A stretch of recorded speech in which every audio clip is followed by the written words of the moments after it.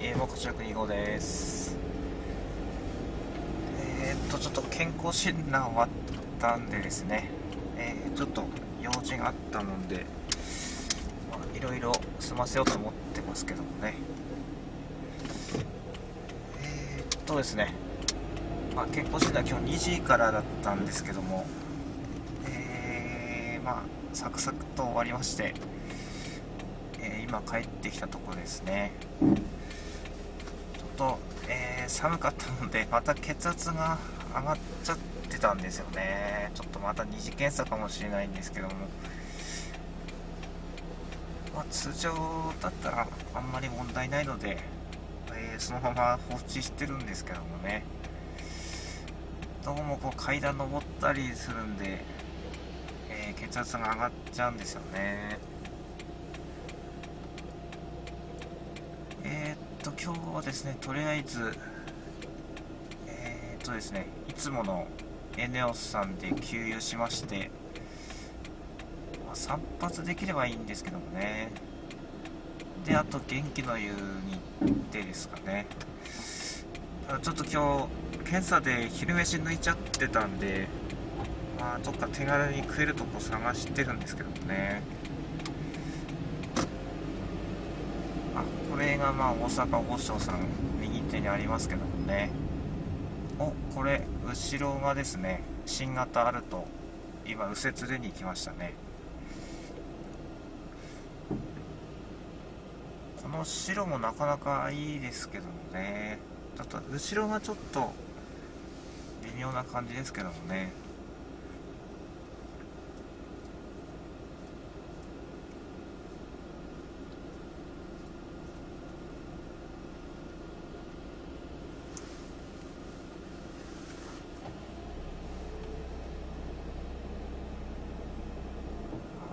年はあとですね、まあ、採血とかしましたけども、あどうなんでしょうかね。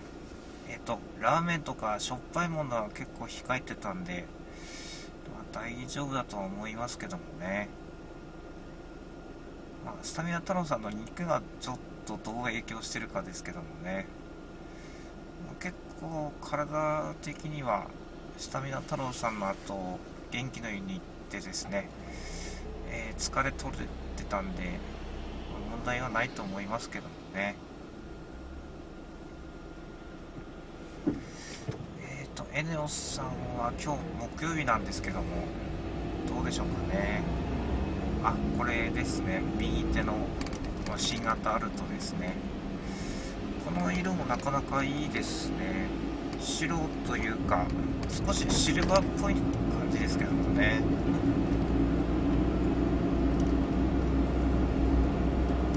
あこれまた右折渋滞が始まっちゃってますね。黄色ですね。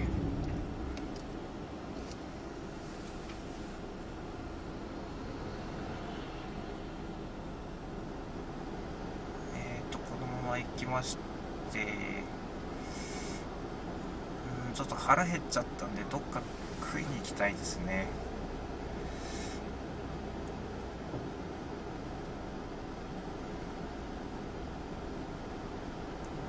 久々にかっぱ寿司さんでも行ってこようと思うんですけどもね、まあ、食うねってちょっと限られていますけどもね、えー、鉄火巻きとイカとかしか食えないんで。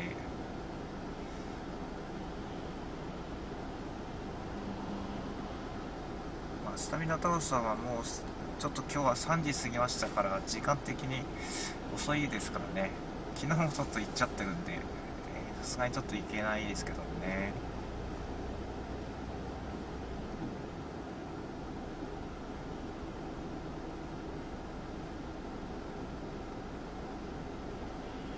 まあちょっと市内探索してですねちょっと行こうと思いますけどもここのルートもあんまり使わないですからね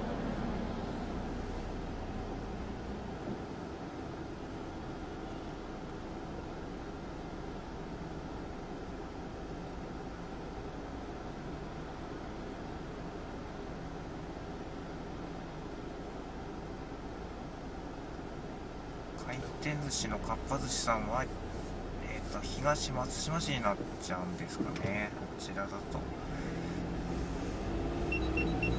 また反応してますね。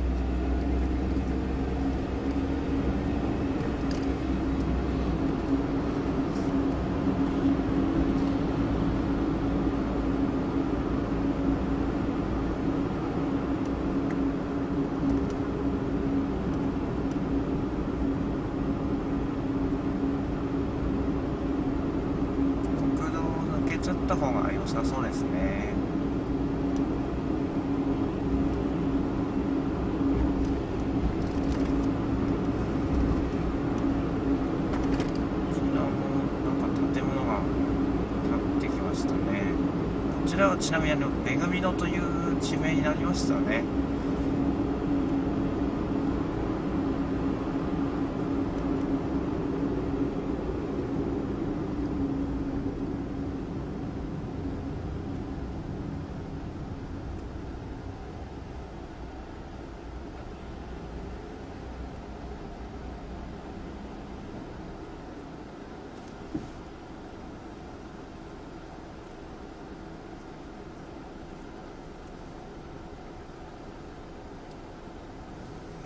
とですね。回転寿司のくら寿司さんは、えー、探したんですけども石巻市にはちょっとなかったんですね、えー、ちょっと仙台市の方に行かないとちょっとなかったみたいですね。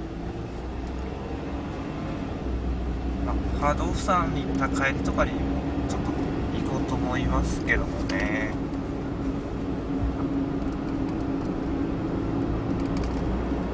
まあ、完全に車線化になりましたね。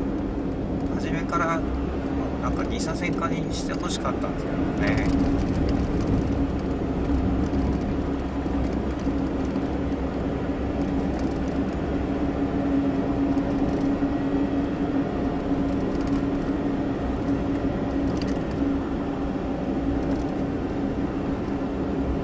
このコースだとちょっとまた工業湖行っちゃいそうなんですけど今日は通過はしませんね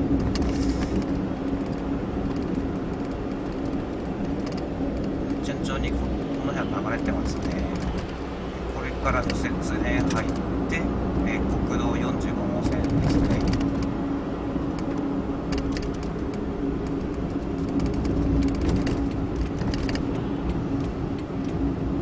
なんかこれ直進が混んでますね。あんまり時計回りは使いたくないんですけどね、まあ、今日は仕方ないということで。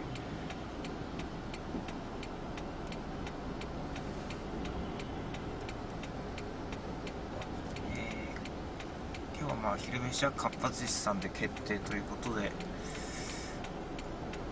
まあ、1000円前後で済むとは思いますけどね。なるべく鉄火巻き食うと結構安く済んだりするんであれだとあの結構入ってますからね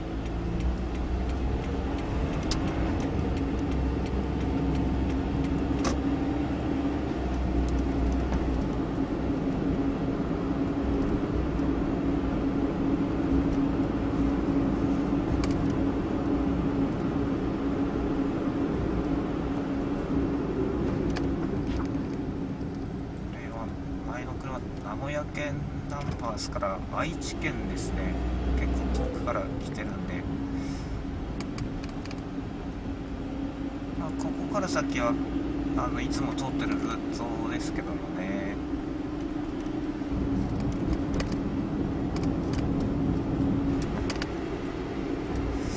この先にちょっと気になる散髪屋さんもあったんですよね。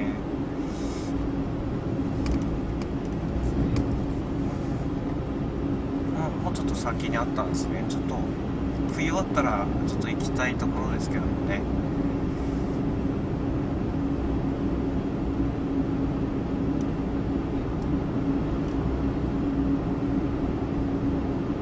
あこちらですね。このシャイニーというお店で。どうなんでしょうかね。今日行かなくてもまあいいんですけども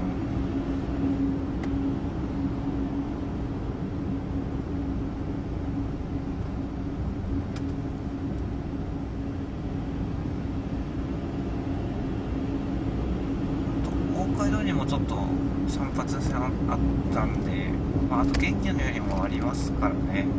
どちらかで使おうと思うんですけどね。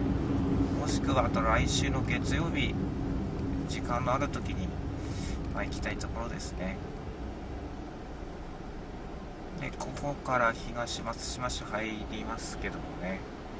ほんとすぐそこなんですよねこのかっぱ寿司さんは。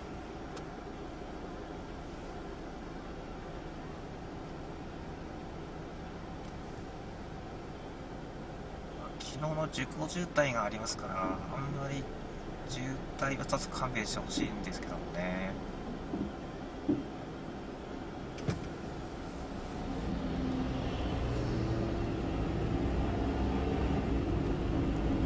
到着ですね。あんまり料金かかんないと思うんで、まあ、腹いっぱい食いたいところですね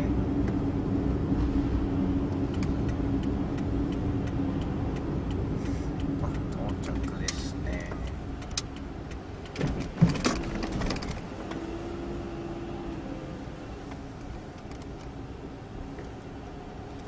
店が映るようにこっちで止めますかねこちら向きで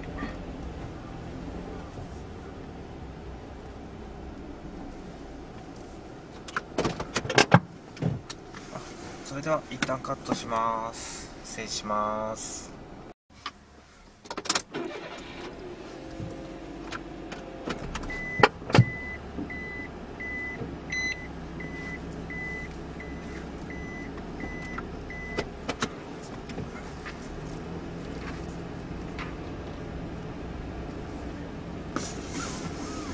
はい、えー、もうかち英語です。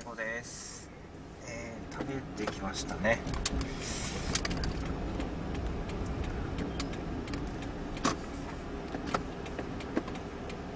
えー、っと、7皿とうどん食っちゃったんで、まあ、1000円超えちゃったんですけども、まあ、そこそこ腹いっぱいにはなったっつう感じですね。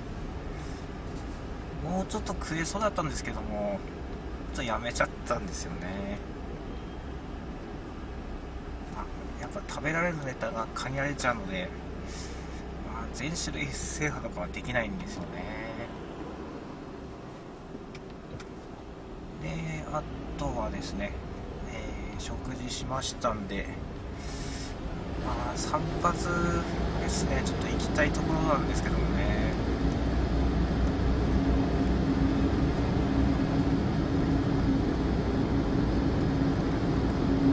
ちょっとあのーさっきの通ってきたお店がですね前から気になってたのでおっと今信号無視ですね前の車。こちらの方ですね1500円ですからいくらになるんでしょうかね。1620円でしょうかね。ちょっとえーお土産の付近がちょっとボサボサになってきたんでちょっと行ってこようと思います。けどね。フラージュさんとはまた違うお店みたいなんですよね。ちょっと気になってたので。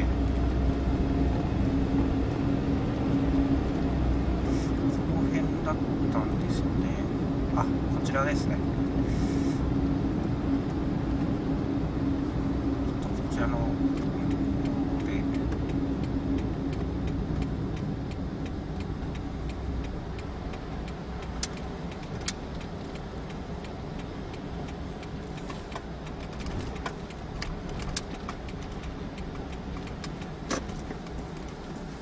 ーとまた一旦こちらでカットしますそれでは失礼します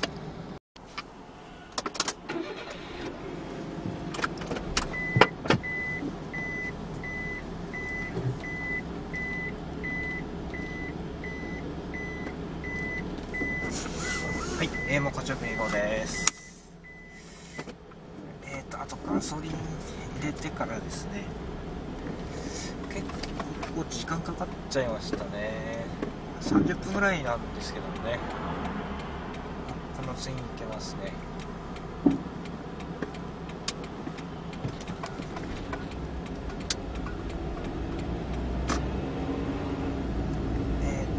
まあ今日ポイント5倍でなければ、えー、給油はちょっと次回にしようと思いますけどもね。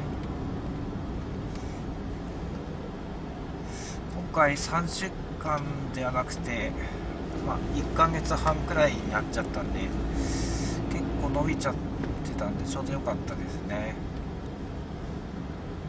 まあ、すっきりした感じですね。と脇の方ですね。刈り上げてないとなんかこうあんまり気持ち良くないんですよね。今日もちょっと刈り上げてもらったんですけどね。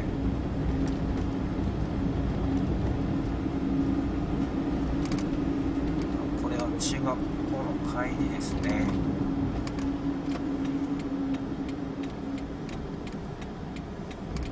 あこれいけませんね多分。あ無理でしたね。一回。とあれでしたね。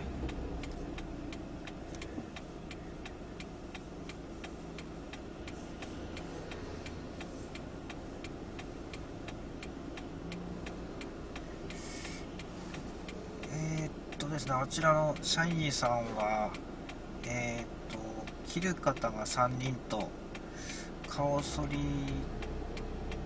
まあ、シャンプー兼任の方で1人で合わせて4人いたんですね。やはりあのイオンの脇にあるプラジュサの方がですね、まあ人が多いんであちらはもう待ち時間なしですぐやってくれるんですけどもね。こちら15分くらいちょっと待った感じだったんですけどもまあさっと終わった感じではありましたけどもね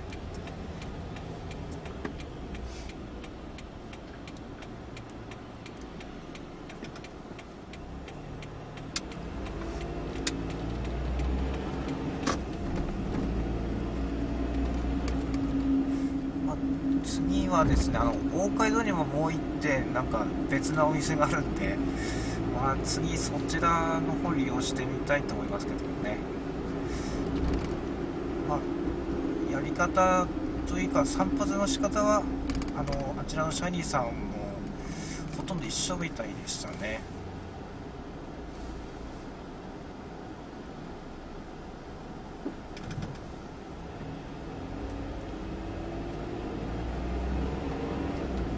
えー、と今あと元気の家に向かっているところでちょっと渋滞がちょっとひどくなってきましたね。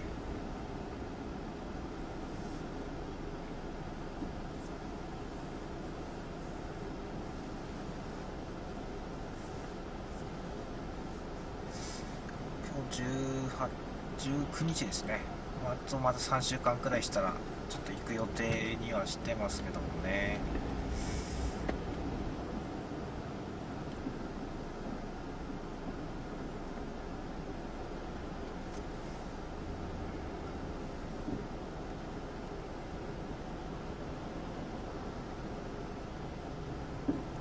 結構ここ無理やりなんですよね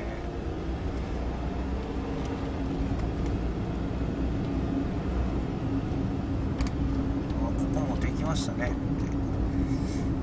まあ湾岸病院の移設なんですけどもね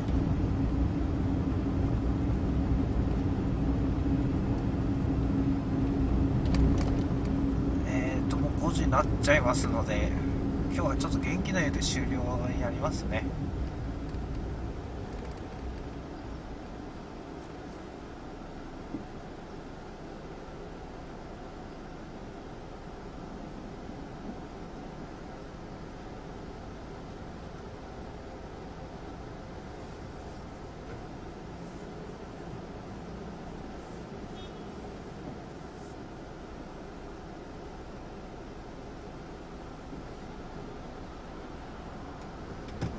おえー、っと T ポイント5倍の旗が見えましたね。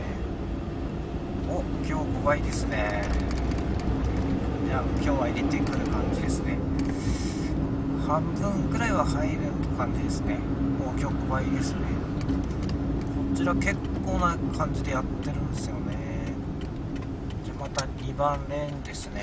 こちらで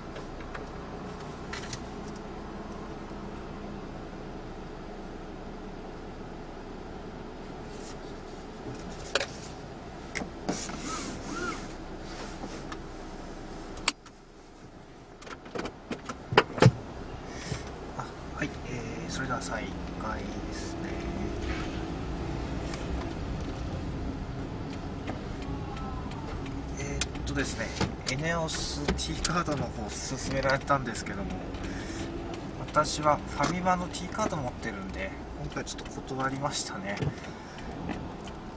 確かこの間はもうもらってたような気もするんですけどね。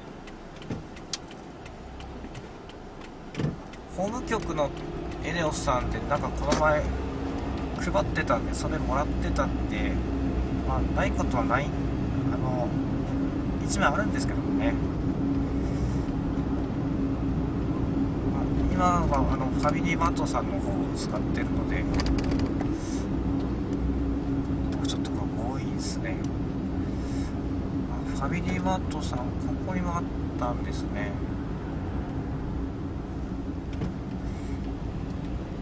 あちょっと気づきませんでしたけどこちらにもありましたね。なぜかコインランドリーが隣にあるんですよね。これホテルルートインは29日オープンでもう完成ですね。大階段の右折レーンも結構できましたけどもこれは、えー、かなり成功ではないかと思いますけどもね。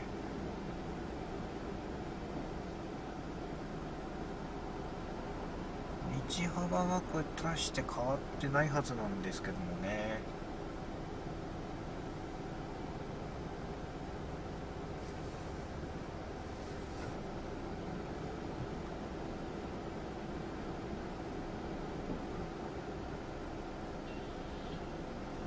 これはアイドリングストップ車ですね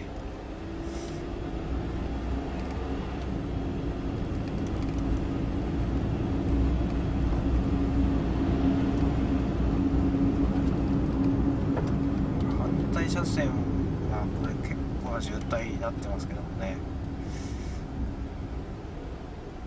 帰宅ラッシュかなんかでしょうね。この時間ですからもう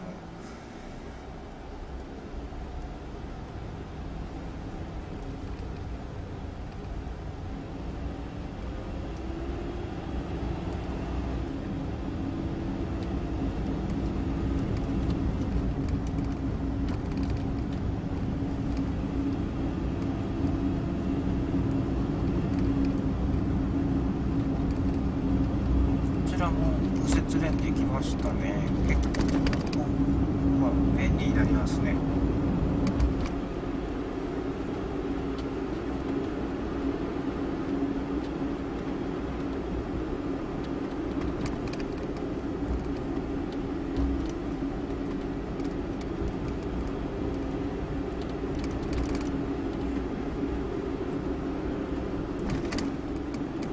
到着ですけど怖いですねこういうあこういうのがあるんで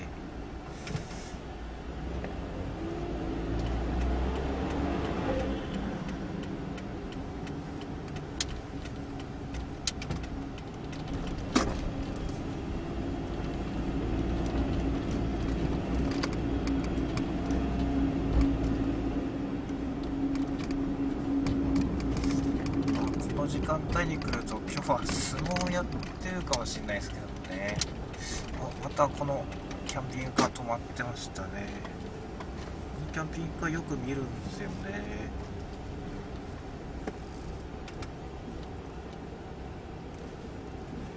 あじゃあこちらであそれでは失礼します。お疲れ様でした